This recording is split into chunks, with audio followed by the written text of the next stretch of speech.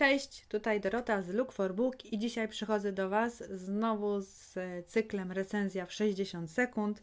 Tym razem krzywym pługiem e, Itamar e, Vieira Junior.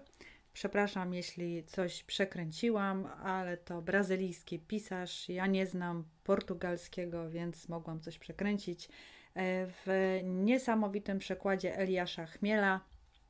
E, napisana, słuchajcie, powieść przepięknym, niesamowicie takim metafizycznym e, językiem.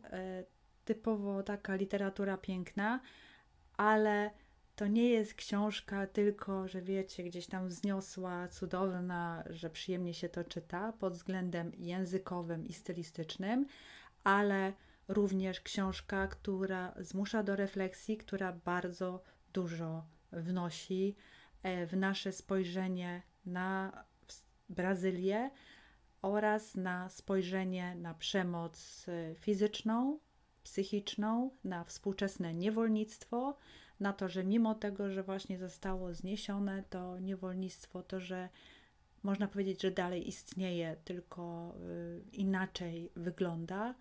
Oto y, też zależności kulturowe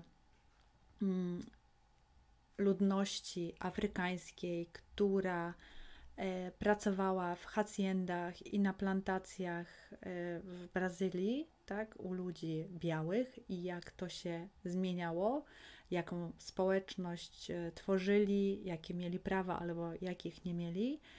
Oraz tutaj mamy przepięknie też opisaną relację dwóch sióstr, z czego jedna w wyniku no, wypadku w dzieciństwie straciła mm, język i przez to nie mogła mówić. Druga ma z nią taki niesamowity kontakt i można powiedzieć, że rozumieją się bez słów.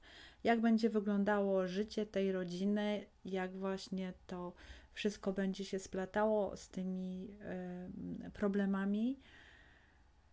Y, I to y, jak e, właśnie ta społeczność jest nie tylko traktowana przez białych, ale również e, jak to wygląda między, między nimi, tak, samymi, czyli na przykład jak są traktowane e, kobiety.